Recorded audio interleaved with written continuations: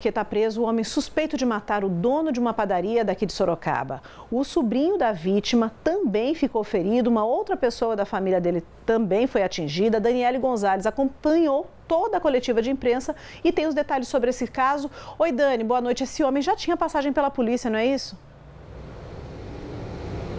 Boa noite, Jaque. Boa noite a todos que estão assistindo Noticidade nesta terça-feira. Isso mesmo, esse homem de 37 anos já tinha aí uma extensa ficha criminal que envolve ocorrências com drogas, além de violência doméstica, além de outros crimes envolvendo roubos. Ele foi identificado depois de um extenso trabalho de investigação realizado pela DEIC daqui de Sorocaba e ele foi identificado e preso na zona norte de Sorocaba. Logo depois ele foi trazido aqui para a delegacia e hoje à tarde, familiares da vítima, o proprietário da padaria de 52 anos, estiveram aqui. Essas pessoas, inclusive, estavam na padaria quando tudo aconteceu e hoje elas fizeram o reconhecimento desse homem de 37 anos. Hoje à tarde também aconteceu uma coletiva de imprensa, onde a delegada responsável pelo caso, a doutora Luciane Bachir, contou para gente um pouco sobre a ação desse homem que agiu de forma bem agressiva e também também trouxe mais detalhes sobre a investigação.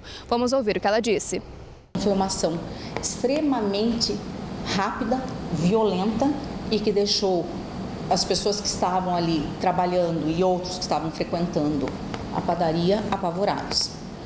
A partir de então, procedemos às investigações e conseguimos então esclarecer toda essa dinâmica e chegar à autoria deletiva. Foi representado pela prisão temporária desse agente criminoso, por 30 dias.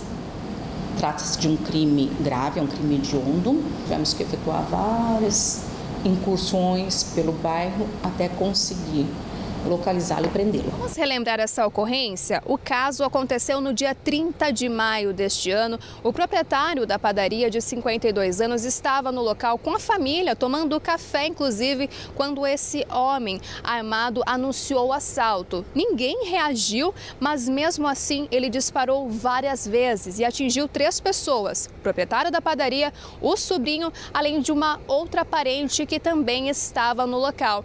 Apesar de ser levado para o conjunto hospitalar de Sorocaba, o dono do estabelecimento não resistiu aos ferimentos. Já os outros dois familiares foram submetidos a exames médicos e foram liberados. Um deles, inclusive o sobrinho, está usando neste momento uma bolsa de colostomia, tudo por conta do disparo né, que ele sofreu. E logo depois dessa ocorrência, o homem de 37 anos fugiu do local apenas com a carteira da vítima fatal, que tinha apenas alguns cartões e documentos. Mesmo depois de ser identificado na zona norte de Sorocaba e de ter imagens de câmeras de segurança, apesar da Polícia Civil não ter divulgado por conta da, da investigação, esse homem continua negando a participação nesse crime. A delegada também falou sobre isso. Vamos ouvir.